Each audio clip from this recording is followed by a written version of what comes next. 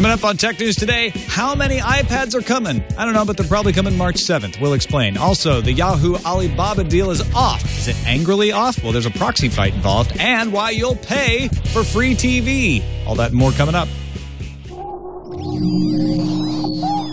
Netcasts you love. From people you trust. This is TWiT. Bandwidth for Tech News Today is provided by Cachefly at C-A-C-H-E-F-L-Y dot com.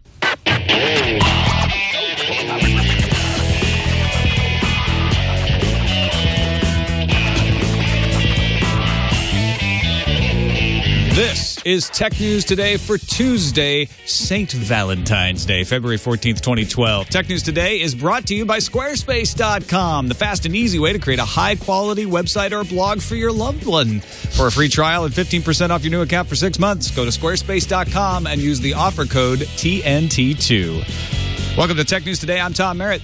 I'm Sarah Lane. I'm Iyaz Akhtar. And I'm Jason Howell. And this is the show where we kick around the tech news of the day, try to make some sense of it all. Uh, for Valentine's Day, uh, our gift to Sarah was to let her stay home. Thanks, guys. I really appreciate that. well, yeah, I'm very festive. I'm wearing red and white. I didn't want you guys to feel like I wasn't going to try, even though I'm just remote today. But thank you for bearing with me. I'm going to take a little boat tour in a couple of hours, Oh, and I fun. didn't think I'd have time to do it all. So you guys were the first ones to go. No worries, no worries. Also, our other Valentine's Day gift is Chris Null, editor of the Intuit Small Business Blog, joins us. Hey, Chris. Hey, Chris. Howdy. Welcome no boat back. tours for me, I'm afraid, but thank you for having me on the show again. We will give you a tour of tech news. Maybe a bicycle tour in later. its stead.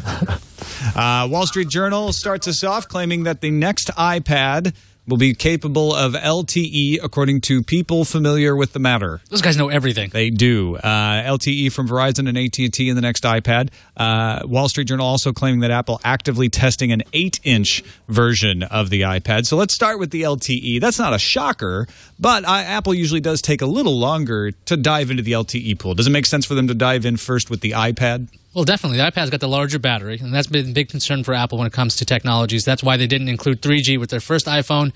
It's why they moved to 3G with their second one because the technology moved fast enough that you could survive a well, I wouldn't say a full day on a, on a charge. When it comes to the iPad, it's got that massive battery in there, and it's definitely has the space to have an LTE antenna. Plus, since AT&T and Verizon both well, Verizon's got their really good LTE network, a very well covered area, and AT&T's got their own LTE. It makes more sense just to go with that right now. About a year ago, around this time, when um, when the iPhone came to Verizon, Tim Cook was quoted as saying, "LTE doesn't make sense for us yet because we don't want to compromise on our design, and we'd have to do too much of that in order to be LTE capable. You know, thicker, more uh, bigger battery, and it would it would screw up the way that it looks." I think that with the iPad, I mean. If it got a little thicker, I don't know that it would be the end of the world, but I don't think that they can compromise much on battery life because that's one of the big selling points of the iPad. That's why people uh, not only do they like the ecosystem, but they like the fact that the battery life is really, really good. So if they have been able to figure out how to not compromise on their design, um, and have a battery that can support LTE if you're in an LTE supported area, then yeah, this makes sense to me. Yeah, I, I would say even if battery life goes down by a half an hour, you're going to hear a lot of complaints. And that was what happened when the iPhone 3G came out. Um, they allegedly fixed all the battery problems, but still, there was a little bit of a, a hit to battery life, and people started complaining about it. Everyone's forgotten that now, but uh, but it will happen. Well, and that's the key, right? Apple doesn't care if you complain for a while, as long as you forget about it later and buy the next model. Uh, Wall Street Journal, as I mentioned, claiming that Apple actively is testing an 8 inch version of the iPad with screen resolution similar to the current iPad. So you would just scale down from the possible Retina display that's coming out to a smaller iPad that's around 8 inches. Officials at some of Apple's suppliers say Apple is showing them screen designs for the new device with a screen size around 8 inches. Taiwan based AU Optronics and LG Display are the two companies mentioned by Wall Street Journal. And this would not be something we would see soon, I wouldn't think. If they're just showing screen sizes to manufacturers, they may not even be planning to build this yet. They may be just finding out, okay, how much is it going to cost you to make these screens? We've gotten to the point where we're doing the cost benefit analysis. Uh, are, uh, once you tell us what you can do with these screen sizes, we'll decide whether we're going to build one or not. I mean, Apple's famous for testing out lots of different things. I think in one of the books they explained how for packages, they had like 500 designs for the iPhone packaging. So for them to test out different kinds of, of models and makes of the iPad or iPod touches or any of that thing wouldn't seem very uncharacteristic of Apple. Whether it's going to come to market as iPad 3, probably not. It'll just probably be long term planning, or they might decide to never do it. I mean, it's it's that 9.7 inch display is pretty good. They still have that small iPod Touch, and they don't. It's not like Apple necessarily to go for that weird middle ground kind of thing. They don't they don't do that with laptops. They go, look, this is what we got.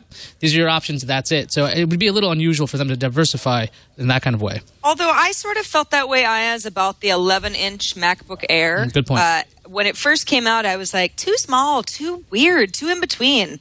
And the people who have them love them. Um, it, you know, they're light, they're portable. They they they offer something that no other uh, laptop in that line offers. Then again, I, I, mean, with laptops, it's like the more the merrier. Really, they've just been in the in the um, on the scene for so long. It doesn't really make sense to me that Apple would make an eight-inch tablet, especially if they're about to roll out uh, something that um, is spec heavy that's really going to wow people the resolution and, and and and speed and power. It seems like a it seems like a step back for apple. Well apple did say something like they famously i think it was steve jobs saying like if anyone's going to cannibalize our business it should be us. So the thing is they're losing out to seven inch uh, other tablets that have the seven inch or eight inch displays. well i mean the thing is it's a $200 price point right? They don't have that kind how of how many people are buying it what the fires or the playbooks yeah, or the or the, I'm, I'm the thinking tabs more of the out Samsung there. Galaxy Tab. I mean, there are that, there are yeah. a number of competitors where if Apple's going to lose money, they might as well just make it up in the other in their other areas. Just kind of like when they came out with the iPod Mini. People are like, why would you do that? You're going to cannibalize iPod sales. They go, we don't care. We would rather have the money from the iPod Mini. Then they kill that with the Nano and, and so on. Yeah, and this is a company that sells four different sizes of MP3 players and four different sizes of notebooks. They have one size of tablet. Uh, I think it makes sense to me that an 8 inch version would be coming. And exactly what Iyaz said, you want to compete with the Fire before the Fire becomes a surprise hit on the Nook and all of these other devices that play that do live in that middle ground. Now, I don't see Apple probably going into like the five point whatever inch uh, area like the Galaxy Note, but um, a smaller tablet, you know, why not? Well, I think Shave the iPhone dollars off of it. The iPhone five would be five inches. And then we get an iPad Mini at eight inches. Then you're, you're not that far away. Uh, we we may find out Wednesday, March seventh. Uh, iMore, citing sources, uh, says that is the day that Apple will make the next iPad announcement. Uh, the Loop also agrees, and once the Loop uh, weighed in, a lot of people started weighing in as well, saying, "Yep, that sounds good to me." March seventh. So Apple hasn't made any announcement, but it sounds like maybe uh, that's a, a, fairly accurate rumor. They may not be able to sell any more iPads though if ProView gets uh, their way, right, Sarah? Yeah, this is a this is kind of a crazy story and not seeming to be going in Apple's favor at all. Um, Apple and ProView Shenzhen, so it's the Shenzhen branch of ProView, their computer display maker, have been in a trademark battle for about two years. Um, Apple ended up suing ProView back in 2010, claiming we own the iPad name because Apple says it bought ProView's worldwide rights to the iPad trademark in 10 different countries several years ago, and now ProView is refusing to honor this agreement agreement. ProView says, no, no, no, we're not bound by a deal that was made by our Taiwanese affiliate to license the name. So it's a little bit of a, you know, who said, uh, who's right? Not he said, she said necessarily. Um, so the the deal is is that um, Apple sued ProView last November. It was rejected. They appealed. That was rejected in December, and now, because of Chinese laws um, that can prohibit counterfeit good, uh, counterfeit goods like clothing, movies, music, electronics, whatever, from being exported from China, ProView can technically demand seizure and ban of iPad exports. You say, okay, well, the uh, law meant to stop a Louis Vuitton purse leaving China without Louis Vuitton's permission might keep the iPads in China? Sure. Yeah. I mean, it, it's well, it's importing and exporting. So you go, Yeah. okay, well, maybe iPads can't be um, uh, sold within China, but iPads are made in China. Yeah. All iPads are made in China. So if no, no iPads can be exported, that affects global sales. That affects that affects everybody. Uh, so it's it's kind of a big deal. Um, ProView is facing known financial trouble. So eh, you could think of it as, wow, they really want to shut Apple down. In my opinion, they don't want to shut Apple down. They want a very, very, very big settlement because Apple is in a vulnerable position right now. They are about to announce a new iPad. They have to be able to sell it um, in all their big markets. Uh, Xinhua News uh, agency out of China has reported ProView could seek up to 10 billion yuan, which is about 1.6 billion US dollars. So it's a lot of money at stake. And, and you know, again, Apple's Apple's in crunch mode right now. They can't they can't be tied up legally uh, appealing too much longer. So um, ProView doesn't want to stop iPads from being made. They just want to shake down Apple's cash reserves for a little money. That's the general consensus. Okay. Uh, yesterday, we had reported the iPads were being confiscated from a retailer um, in a, a city in the Hebei province. And a ProView lawyer also told the AP that the company has asked authorities in more than 20 cities to investigate, destroy promotional materials that violate this trademark. Now, we haven't seen any. Uh, any stories about Apple products being pulled off of Apple Store shelves in China. Um, although ProView has filed a trademark infringement case against Apple in Shanghai, trying to halt iPad sales there, and that case isn't scheduled uh, to begin until the 22nd of this month. So. It's it's a real mess. I, I, I see Apple having to fork over a lot of money unless they've got something up their sleeve that they just haven't brought into a courtroom until now. Well, in, in, back in April of last year, Foxconn said they were setting up a, a, a factory in Brazil that would make iPads. So uh, iPads wouldn't be completely gone from the market, but they would become, I would imagine, extremely rare because China's where the majority of them are made. But I mean, this it looks like Apple probably will pay money for this. But the question is, will it be worth less to them to start up a business somewhere else? I mean, they don't have to even stay at Foxconn or stay anywhere near China, considering all the, the flack they're taking for uh, being doing business with these factories that seem to have uh, questionable work habits. Yeah, So they- Foxconn has a manufacturing plant in Brazil, uh, and there are other manufacturers in Taiwan that Apple does business with. So the question is, would they be able to manufacture the i- iPad in great enough quantities uh, to satisfy that? Plus, uh, This that's, is- it's a huge problem on their business. Go ahead, Chris. This is how American manufacturing is coming back, guys. Didn't Clint Eastwood teach us anything at the Super second Bowl? half. This is it. It's halftime, America. iPads. and we're going to sue Apple into making iPads in Detroit again. Um, well, no, I, I think ProView is, you know, legitimately going to try to stop this company, Apple, from making knockoffs of their very valuable brand iPad. Well, yeah, don't you? Uh, we all have ProView iPads here. Yeah. you know that's the first thing I think of when I think iPad. ProView. Absolutely. Well, does anyone remember the uh, Linksys iPhone that came out about six months before the Apple iPhone I came do. out? I do. I remember that, and I remember they actually they paid Linksys for that or Cisco Yeah. for that that uh, name. And I think before that, iPad was I want to say a Fujitsu product. It was an actual this weird Windows CE device. So you can you can always negotiate. Yeah, and and what what it what I, I Sarah, I think you nailed it, which is this company has licensed or or at least not have fought this before and, until they got cash strapped. And that's why Yeah. they're, that's why they're pressing it now. Uh, I, I expect this to come to a pretty quick deal. Other What, news, what, what's what's unique about this, and this will just be the last thing I say, is companies do these sorts of things when they get desperate, but the court seemed to be going um, the way of ProView, at least in China. So, I mean, it must be extremely frustrating for Apple. Yeah, exactly. Well, ProView has a decent case in China. Uh, That's that's that's the key there. Also happening in Asia, uh, Yahoo and Alibaba uh, talks to split the company out. Remember, Yahoo owns a big chunk of Alibaba, but apparently those deals have fallen. Those the talks have fallen apart. Kara Swisher at All Things D reporting that the uh, the talks are off for now.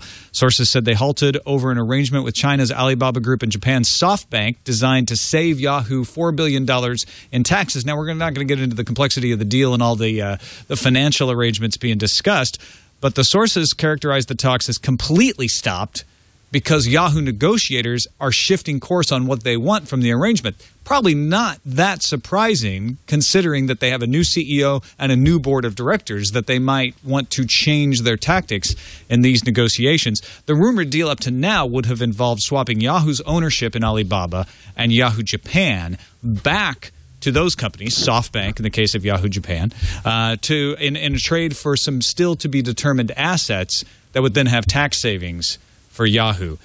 So th- this, I, I don't know how much it's really going to affect us, except that the longer that this drags out, the less focus Yahoo has on their domestic products. Yeah, this kind of divestiture, getting rid of these other pro- uh, properties, would let Yahoo decide. Okay, what do we do anyway? I mean, they have a new CEO, they need a direction, but if they're they're constantly trying to figure out what's the best tax tax plan, you're not going to see any like real movement, like exciting movement with Yahoo, and we're pretty much in a holding pattern when it comes to what does Yahoo do. I still don't know. Well, it seems like the Yahoo shareholders really hope that they'll do that, that they'll do something different. I know Kara Swisher had had noted in her article on All Things D originally, "Hey, stock's up. It's pretty high," and then she had to uh, release an update. Well, now that the news is out that some some decision has been stalled, stock's back down. Chris, you were going to say you worked at Yahoo Yeah. for years. I worked at Yahoo for four years, and uh, I still don't know what Yahoo does. Uh, well, what they do is they fight proxy fights, apparently, because uh, Dan Loeb has finally started his expected proxy fight with the new board of directors. So that's going to make life even more interesting for him. Let's take a quick break and thank our sponsor, Squarespace.com. I use Squarespace every day. Used it last night uh, to publish the Sword and Laser blog. We use it on my podcast, Sword and Laser.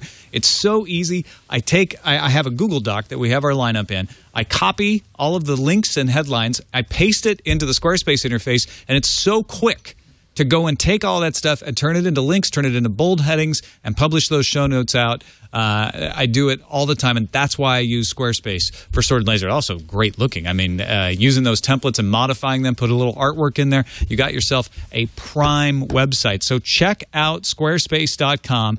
Uh, whether you're a beginner, whether you want to import your old blog, because you can import blogs into Squarespace, no no risk. They'll let you take it back out too. Uh, and you get to, to try it out for free. You don't even need a credit card. So there's no reason not to give it a shot if you haven't yet. Squarespace.com gives you reliable serving. Uh, so you don't have to worry that your site's going to go down. They give you 24 7 support, uh, free live classes. If you're like, you know, I'm, I'm still uncertain how about blogging, they'll do everything for every level of user from the person who wants to tweak the CSS themselves to the person who knows nothing. Try them out absolutely free. Try out a free account. No need to put a credit card in. Just go there and create a blog right now. If you decide to purchase it, remember this code TNT2 and get 15% off for six months. That's squarespace.com. Use that offer code TNT2. We thank them for their support of Tech News Today. On to a new service that will allow you to pay for something you can get for free. Well, maybe you can get it for free, but it, the service is called Aereo. It's launching March 14th. You probably heard of them before as Bamboom Labs. And what it's going to do is going to stream New York City based television to New York City based users uh, using an HTML5 compatible browser. So you just need to have Chrome or uh, basically anything. It's going to cost you 12 bucks a month starting March 14th, and you get a 30 day free trial. Now, how this works is pretty simple. They have miniaturized antennas, and what they are effectively doing is they're renting out this each antenna to each user. This is how they, they're trying to get around whole legal issues. So they're not broadcasting. No. You're renting a particular. You're renting out uh, All right. you're renting out an antenna, and they give you a cloud DVR, so you can just record things like from ABC, CBS, Fox, NBC directly through this service. Now, if you're wondering, hey, how can I get this anywhere? Well, this is really limited to New York City, and I asked uh, Aereo, and they, they actually sent a response. An Aereo spokesperson told me that you have to have a New York City billing address uh, tied to your credit card, and it looks for your IP, attr- IP address to determine your location. If that IP address is outside the New York City area, it allows you to geolocate your position via GPS to confirm that you are in fact in New York City. Now they're But going the, but the point of that is, if you're outside of the New York City broadcast area, they're not going to let you watch the. That's TV correct, channels, and I think that that's a lot of this has to do with a lot of the legal wrangling when it comes to this to make sure they don't get sued out of existence. They're not doing anything you couldn't do with an antenna, and what they're the, the idea is simple. If you're in New York City and the way that the digital transmissions work nowadays, if you don't have line of sight necessarily, you're not going to get as good a signal. It used to be in the old days you'd have analog, it would go through buildings very easily, but if you don't have that kind of line of sight, you lose out a little bit. Now, there, there have been improvements to that over the years as we move to digital, but it's not exactly great. So if you're facing the wrong side in your building, you're not going to get over the air. Basically, local channels don't want you to watch any channel outside of the area because they Mm-hmm. that affects their ratings. They want all the people in the area to only be able to watch their version of NBC, not the one in Chicago or the one in Ottawa or the you know wherever else. Uh, Ottawa is a horrible example. They're in Canada. They're going to have CBC. But anyway, you get the picture. Uh, so so that's why they do this strict. Netflix, iTunes, they don't have to worry about that because they're giving you a show. It's not based on local television or local television broadcast. And uh, Aereo is citing a 2008 precedent about uh, cloud DVRs with uh, Cablevision to see if they can get away with doing this. And and they're, they're riding the line here. Now, Boom, Bamboom's been around for a while, actually. I mean, we've reported on them in the past. And so they didn't get sued out of existence yet. And the question is, will they be able to survive? Uh, they have an interesting financial backer. Uh, Barry Diller He created Fox, the broadcast network, so it's not like he's doesn't, he's unfamiliar with uh, with television. He's also on the board of Aereo. Really, not, not sure exactly how. Diller's Diller's a TV executive, has been around forever. Yeah, so he's, he's involved in a lot of properties. The question is, what kind of uh, influence he will have. I, I, I, don't know if he'll have like Fox contacts to say, "Hey, don't sue us, guys." But that's I mean that's all speculative. Uh, but it he's looks got like, contacts though. You can you can bet on that. Whether they're at Fox or not doesn't really matter. He's Yeah. got plenty of contacts. So, So- if anybody can have some influence uh, to pull this off, it would be Barry Diller. But he's just on the board. that's right. right. So he's he's basically I guess Not an employee. right. He's on the board, so he's all the decisions have to come up basically about stockholders and all that fun stuff with boards, like we talked about with Yahoo. But obviously, if this succeeds in New York City, you could imagine this easily rolling out to other cities, satellite cities, because it's if they follow with if they follow the rules, they can get away with this. And this is actually, I think, intriguing because there are a lot of times where you should be able to uh, receive a signal and you should legally be allowed to do that, but you physically can't. And if there's a service you get around that, twelve bucks a month, not so bad. Sarah, you're a cord cutter. I you want this? it, I, I okay. My first my first reaction was twelve dollars a month for something that my over the air antenna can pretty much already cover. I don't know about that, especially if you've got uh, services that do promise. Well, okay, so the, I was going to say the Boxee Live TV dongle, which does not allow for DVR capabilities on Live TV yet, although that they say that they're working on it. Um, I like the idea of maybe paying once for the for the equipment, but then you know if the over the air signal is free, kind of bugs me to have that twelve dollars a month reoccurring fee. I understand the why they have to price it the way that they do. If I can get this through my Roku box, now I'm really interested because that is not only just a convenience where I don't have to keep switching inputs on my television, but then all of a sudden I've got a DVR inside my Roku interface for live television that I'm watching more and more. Apple TV is cool too, but that also that will just leave out people who aren't on iOS devices to be able to AirPlay it to an Apple TV. Now, Aereo is working. They do have a Roku app that will be coming out. So they're going. So you can do this on browsers. You can do this on Roku, Apple TV, iPhone, Android, pretty much anything. So I, I, they pretty much have it all covered. So the question is, well, can they survive? And, and can they move beyond broadcast? I mean, is the is the end game here to move this into cable services and to have a la carte whatever you want TV channels over the air? That probably couldn't happen. Well, I would never say never. Okay, they're not going to be able to problem. just do it uh, without permission. But I think what you can do is if you get enough people subscribed to this, go to the cable networks that aren't getting the best deals, the ones who are actually having to pay for cable carriage, the ones that aren't part of larger networks and have a hard time get, you know getting any eyeballs in in 300 channel lineups and say, "Hey, we're going to give you prime prime real estate with a bunch of people that are watching stuff."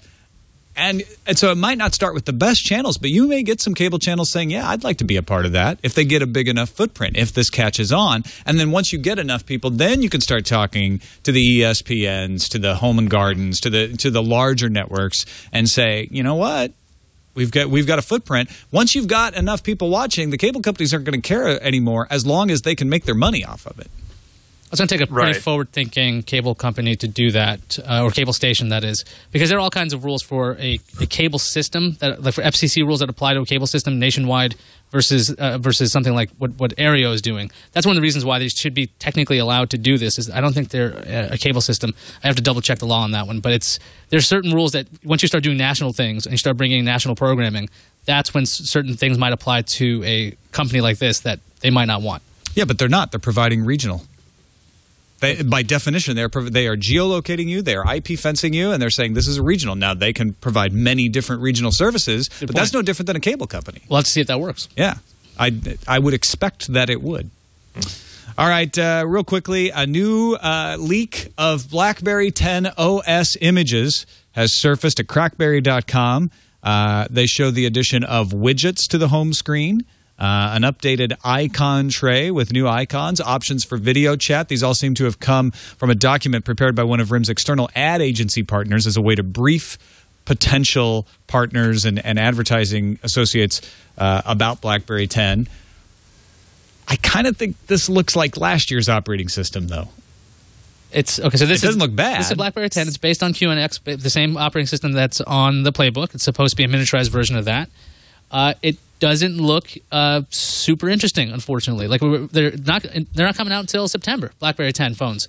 So we still have several months to go. So maybe this is an early build. Maybe there'll be some like whiz bang amazing feature that we just didn't see. But effectively, they're playing catch up. There's like a people hub, which is pretty much from WebOS from like 2000. I don't know what nine. Uh, then there's uh, there's what what else is in this thing? Oh, new icons. So I I can't get excited about this. Yeah, this looks. I mean, some of the shots look like any Android or iOS home screen, and then you've got stuff that looks a little bit like Windows Phone, and that gets me uh, feeling like, okay, well, BlackBerry's catching up. Yeah, they're, they're going to have a cool interface that a lot of people already enjoy and have come to expect. But again, like I had said, this is like later this year. So if we're already seeing stuff that we go, yeah, it looks better then by the end of the year, they've really got to like step it up, or else. It, think think of how much more everyone else will have advanced by September potentially. It's just it's a it's a catch up game, and they can't really play forever. Chris Null, give us some BlackBerry hope. I, I saw those widgets and I thought immediately, you got your mango in my BlackBerry. mm, that actually sounds really, like a smoothie. the only thing anyone cares about BlackBerry right now is, is that that has a keyboard. If it, as long as it's got a good keyboard, the BlackBerry faithful will stick with it, and uh, they will they will love the new icons and the widgets and uh, uh, you know the the people hub and uh, and that that will be that. Um, I mean, it's like everyone has said. This is old hat for everyone else who's been with smartphones and touchscreens for forever, but if you can keep uh, keep the BlackBerry users hanging in there, then then BlackBerry will never go away. Yeah, don't underestimate the loyalty of BlackBerry users. I, I know people are like, "There's no email client like that. That's on my BlackBerry. That's on my Android phone. I cannot get the same kind of email." So maybe uh, was I get the same email. Well, the same kind of email anyway, not the exact same email. But the, the, the idea is is okay. Well, the plan was is it uh, is it Heins? Is that his name? The, the CEO. That Thorsten. Ex, yeah, Thorsten will have uh, his plan is that existing BlackBerry owners will upgrade, so they will be saved by their existing people. Finally, Cisco has released a report on future mobile data usage. They do this from time to time, and they've been fairly accurate in the past. They're saying for the next five years, total global mobile data traffic will increase 18 fold by 2016 when it will reach 130 exabytes. That's 18 times larger than last year's mobile traffic. Uh, most of it will come from the cloud. Streaming from the cloud will account for 71% of all mobile traffic. Now, 4G will only account for 6% of mobile connections by 2016, but that is expected to generate 36% of the mobile traffic.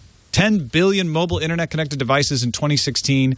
That's more than one per person. In fact, by the end of this year, by the end of 2012, they expect that the number of mobile connected devices will exceed the number of people on Earth so by 2016, there will be 1.4 mobile devices per capita. Now, pair this with a couple of other reports out there, and I want to get everybody's opinion on this. Round the horn. JP Morgan analyst Mark Moskowitz says Ultrabooks will not take off until they sink to the 600 to $800 price point. So Ultrabooks are not going to take off this year. They may take off in 2013. We'll see. PCs are still the biggest moneymakers around, bringing in about 19% of the reported $144 billion in hardware sales last year, although revenue for PCs is declining, while revenue for tablets and smartphones is rising. So is, is, the, is the, the reign of the mobile device at hand?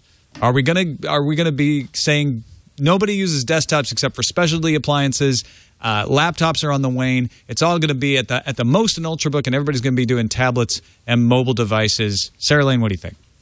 Well, I I think ultrabooks are too expensive. If ultrabooks could come down in price just a couple hundred dollars, so that they weren't often more expensive than, let's say, an entry level power uh, um, PowerBook, then or I'm sorry, uh, MacBook Air, then you it's it's not as if people aren't interested in ultrabooks because it's sort of the same old argument of like, will tablets replace laptops? Well, no, they don't replace laptops for me. I can only use my iPad for certain things, but not for everything. That said, um, there, I think there are going to be certain, especially in emerging markets, certain uh, areas of the globe, if we're talking global numbers, that will bypass laptops completely, and they're going to go completely to mobile, and that's why we see these crazy big numbers, more mobile devices this year than there are people in the world continuing for the next four years. I, yeah, I, I don't, I don't think that laptops are going away. PCs, I think, are on the decline be, unless you're in special situations where you need to, I don't know, crunch hefty data, video editing, that sort of thing. Chris Null, what do you think? We going mobile? We're going to stay the course and splitting the difference. I think the real test is seen in that graph that you had up earlier that shows what the tablet growth has been over one year. And it said something like 5% market share in 2010 and like 11% in 2011. It's the only thing that is skyrocketing upward in popularity. Um, and it's it's hard for us, I think, as a group here to think about what this really means because we are on laptops all day. We use tablets, we use smartphones. We're kind of uh, we kind of have this hodgepodge of devices that we turn to for each different thing we want to do. But if you look at a younger market, and like Sarah said, you look at emerging markets, uh, they are bypassing laptops. And I think about my nine-year-old daughter, and she doesn't use a, she doesn't use a laptop for really anything except when she wants to type uh, something for school. Everything else is done on uh, iPad or an iPod Touch. And uh, she's very comfortable there, uh, but when it comes to a physical keyboard, she's she's just not interested. Uh, so yeah, when she goes to high school, she's probably going to be using a laptop to write reports, but all of her research and everything else is always going to be on the tablet. And uh, as these things get more and more popular, yeah, there it is. As these get more, as tablets get more capable, powerful, and popular, that's only going to continue. So I think we look at it from a bubble because I think, how could I ever live without my laptop? And and I really couldn't. But uh, there's a whole lot of people out there that are that are taking us over demographically that can. Iyaz, do you agree? I think PCs are going to stay for the enthusiasts and those who like to tinker with their devices, but I think uh, uh, computers have turned almost into a consumer electronic at this point. It used to be where it was only for nerds and you really wanted to play with your device. Now it's like, look, I don't care if it's sealed. I don't care if I can't upgrade it. I don't care. I just want it to work the way I want it. And so people want to always be connected while they're moving around. So with the advances in laptop technology with, with processors, how fast they've gotten, even in something like an Ultrabook, you can pretty much do everything you want on, on such a slim device. I think that the mobile stuff is that's that's just flat out the future. The, the, the days of having a desktop like in every house, I don't think that's going to be that's not long for this world unless you're a gamer and you love doing that kind of thing or you want to tinker within the inside of a device. I think these are just becoming consumer electronics. Yeah, I think desktop's mostly gone. I, I think the big difference, the thing that needs to be cracked before a mobile device can replace this laptop for me, is that I have to be able to switch very quickly between programs and see parts of the programs at the same time. Sounds really simple, but every Windows machine, every OS 10 machine, every Linux machine can do that and iOS, Android, and the other uh, mobile operating systems cannot. Uh, so I will need both until someone comes up with some new magic form factor or operating system metaphor that allows me to do what I do with fast switching between windows. I just I, I, I can't do the same things on a tablet in the same way and with the same efficiency that I do on a laptop. Maybe I'm just old and I, I can't change my ways. I don't know, but uh, that that's the one thing that's holding me back. Let's Tom, move. you will have you will have two tablets. That's how it will work eventually. You know, I've actually done that before, but I can't copy and paste from one to the other. Somebody built in the courier. Yeah. Oh, they'll figure that out, Tom. Give them time. Let's figure out the news fuse.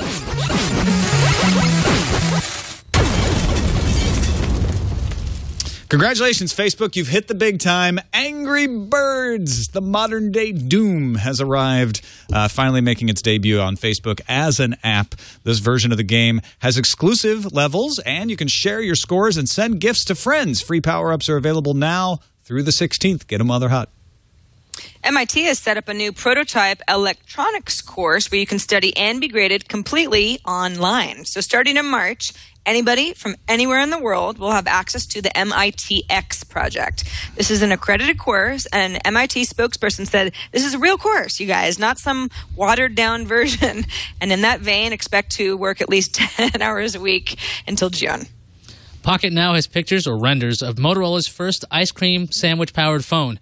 From the outside, the design looks like a departure from the current look of Moto phones, but the real story is on the inside. The unnamed device would be powered by an Intel Medfield chip. And don't forget, Intel and Motorola announced a partnership back at CES. Oh, man, because it's all the Valentine's Day candy, I thought you were going to say that the, the surprise on the inside was a creamy nougat.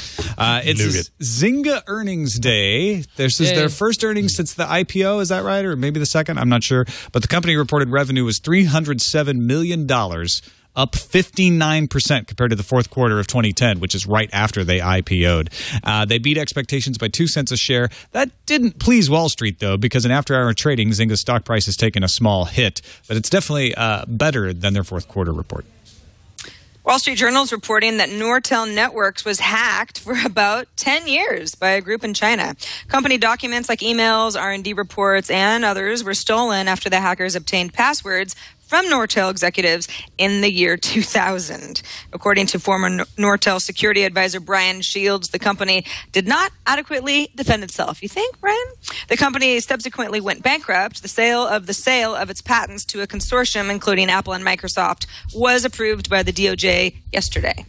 PocketLint reports HTC will be well, one of the first companies outside of Sony to get PlayStation certification and says the announcement will come out later this year. The PS certification program for Android devices was announced back in uh, at the introduction of the Vita. And uh, the HTC device would be, again, the first outside of Sony. Don't forget, I think the tablet has certification and a couple of their phones. There's a new Facebook app for Windows Phone by Microsoft. It now supports group ad pages, but doesn't add an easy way to check in or tag people. It also doesn't fully support the Facebook timeline. But then what does these days? And it does have a better panorama mode. At least that's what Microsoft says. According to Bloomberg, Netflix has ordered 13 episodes of Orange is the New Black, which is a comedy from Jenji Kohan, the director of Showtime's Weeds. You might have heard of it. And if you've heard of it, you might Really like it. The show is based on the memoir of a communications executive who served time for drug charges in a woman's prison.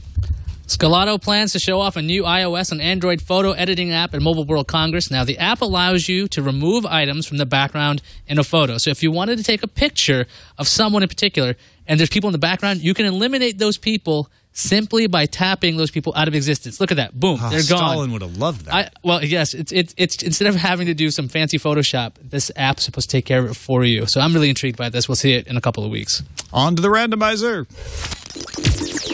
Randomizer. Students have created the ultimate hockey player, a, an autonomous humanoid robot named Jennifer. Okay. Oh, is that not enough for you? That- uh, Well, I want to see some video. we're getting the video from Uni- you University know, of there's some crappy robots out there. It's a hockey playing robot already. I mean, that, Whoa. that's that's well now it's not skating. Okay, so it's walking on the. i- Oh no, just it is skating. It looks like Hey, It's that's- skating extremely slow. Walking on ice is skating. that is. Well, no, wait a second. There are blades. It looks like, and and Jennifer is capable of scoring a goal. I'm a big fan of hockey, so I guess I have a soft spot. for Jennifer this. can puck handle, skate, shoot somewhat accurately, so probably good enough to play for the Blues. Her slap shot certainly doesn't rival that of you know major stars like Gretzky or anything, but uh, Yet. little street hockey. It's a first step in robo Yeah. hockey.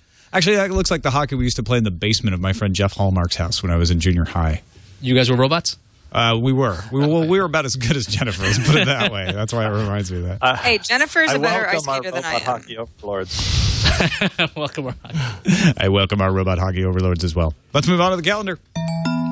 The Document Foundation has released LibreOffice 3.5. Calc gets a big upgrade. Microsoft video, Visio files can now be imported. Uh, some automatic updates um, have gotten have gotten a little refresh and more. Free and open source. What's not to like? RIM's extending their offer for free playbooks for developers that submit apps to BlackBerry's App World. So now you want to participate and thought you were too late, you have until February 15th to register and until March 2nd to submit an app. RIM says as of last week, 6,600 devs have signed up and 1,500 apps were submitted. So free playbooks, get on that. If you've pre-ordered a PS Vita, PlayStation Vita, of course, uh, midnight launch events are being held uh, around the U.S. at Sony's flagship store in Manhattan and various GameStop locations. You can buy the first edition bundle which is the Wi-Fi 3G console, special edition hard case, four gigabyte memory card, and a copy of Little Deviant. It's a $350 bundle. The rest of you have to wait until the 22nd when the unbundled console goes on sale. Um, and if you don't want to go anywhere at midnight, then the pre-orders are available tomorrow as well. T-Mobile is holding an event to show off what it calls its latest and greatest on March 15th in Washington D.C. Invitation clearly displays a seven, uh, so people figure ah, it's probably something BlackBerry 7 related. Yep. Nah, it's probably not anything BlackBerry 10. The Verge is guessing it's uh, uh, T-Mobile Curve uh, 9380, perhaps, or maybe some new BlackBerry 7 features. And finally, Twisted Metal hits the USA Today exclusively for the PlayStation 3, at least for now, for 60 bucks. Let's check what's incoming. Incoming message. Got an interesting proposition on voicemail, or an interesting observation, rather, about MySpace. Hi, this is Itello, the charismatic geek. Anyway, so I think you're forgetting about the fact that Justin Timberlake is pop idol.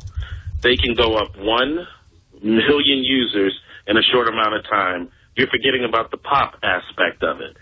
They could parlay what they're doing into something more. Think about it. All right, all right, fair, fair point, E. Kello. Uh, although, if you have to call yourself charismatic, are you? I don't know. Uh, but once, okay, so Justin Timberlake tweets out like, "Hey, MySpace just added this hot new feature, and it was going to get a bunch of people to follow him, right? Whether it's Twitter or mm-hmm. whatever mm-hmm. social network." But Sarah, do you think that they'll stay? Well, I think that Justin Timberlake being on board with MySpace might account for a lot of their user growth in the last month. I know that Justin Timberlake's a celebrity. A lot of people follow him. So, yeah, I mean, an, a, a, a famous person who endorses a product, and in Justin Timberlake's case is actually co-owner of MySpace now. Yeah, I mean, you're responsible for that initial push, but you're not going to keep getting the, more and more fans coming to the product. I mean, you, you actually have to have something that works, or even those people who moved over because of you will eventually drop off. Well, MySpace has that music hook. I mean, Timberlake could release singles on there exclusively, or have his friends put up stuff there too, uh, maybe off a contract, some kind of thing there. That would keep people coming back or keep it buzzworthy. Go, oh, look, MySpace actually has songs that Spotify, iTunes, these places don't have. Give you a reason to come back or even join MySpace. So I'm thinking that's the kind of thing he could bring that a lot of people couldn't. Chris, I want you to put yourself in a, a strange headspace. Let's say that you love the music of Justin Timberlake. Would that be like you know replace Justin Timberlake with a musician that you absolutely love, unless you love Justin Timberlake? Would that be enough to drive you over there? Well, I, I use MySpace when there are bands on there that right.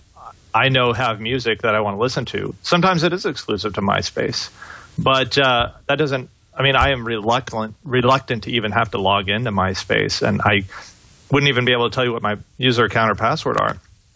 All this does really to me is make me think Justin Timberlake is less cool. Oh, poor Justin. I know, I know, he's feeling bad about and that. And on too. Valentine's Day. That was cold. Really?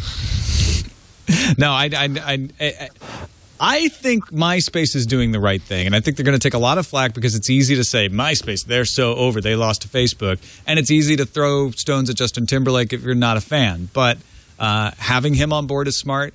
Uh, focusing on music is smart, and and as Chris said, people still uh, have to go to MySpace for certain music, so they they have an audience. I, I think it's uh, and I think E. Kello is bringing up a good point, which is you know that celebrity factor shouldn't be ignored.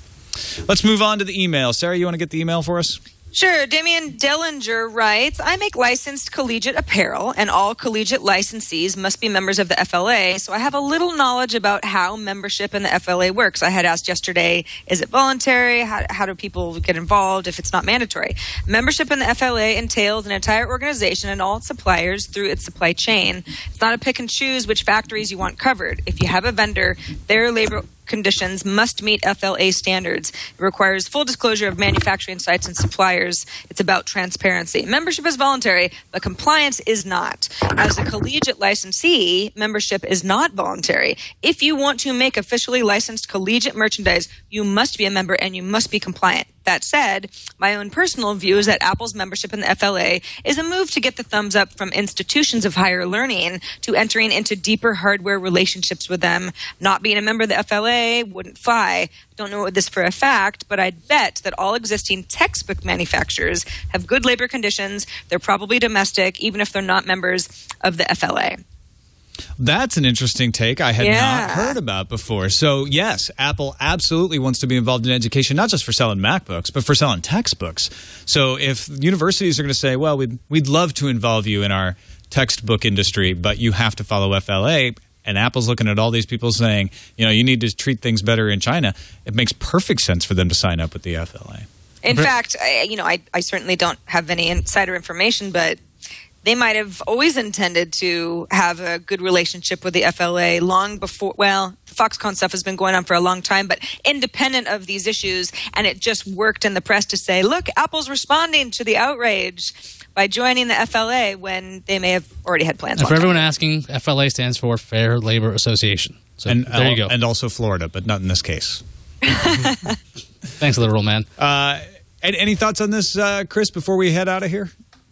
No, I think you nailed it. I mean, if I had a lot of bad press coming like a tidal wave, then this is a good way to deflect some of that. Yeah, good stuff. Thanks for the uh, the insight. That's that's why I love our audience uh, because people like Demian will, you know, they know they everybody has an industry or an association or an area of experience that they know better than anybody else. And and when we all send in stuff like this, it just helps everybody else. So keep that kind of insight coming. Appreciate it, and keep. Chris Null insight coming. Chris, great to have you on the show again. Uh, let folks know where they can find you online and uh, read the Intuit blog and all that good stuff. Yeah, thanks for having me on the show. It's uh, blog.intuit.com. It's all about small business. There you go. Easy as that. Blog.intuit.com. Are you are you on Google Plus as well, or are you not really using that? I am. I don't. I don't do a lot on it though. I, I'm. Uh, I'm still waiting for uh, somebody to accept my circles invitation. Uh, No, is it me? no. I just. Yeah. It's just. It's a ghost down there, isn't it? Not really. No, I, I've I've got a bunch of people that I, I, I keep up on, but yeah, it's not. I don't know. It's a different. It's no different. MySpace. That's what. It's no MySpace. They mean Justin Timberlake. They Really do. Yeah. All right, don't forget to uh, submit your stories that you'd like to hear us talk about, or just vote on the things that other people have submitted at our subreddit, technewstoday.reddit.com. Uh, you can find that all kinds of good stories there. Actually, check it out, technewstoday.reddit.com. Thanks to everybody who's in there helping us out. We look at it every day. You can find us on the web, twit.tv slash TNT. You can email us. Our email address is TNT at twit.tv, or you can give us a call. Our phone number is, I almost gave my own phone number out there for a second, 260 TNT Show. Randall Bennett joins us tomorrow. We'll see you then.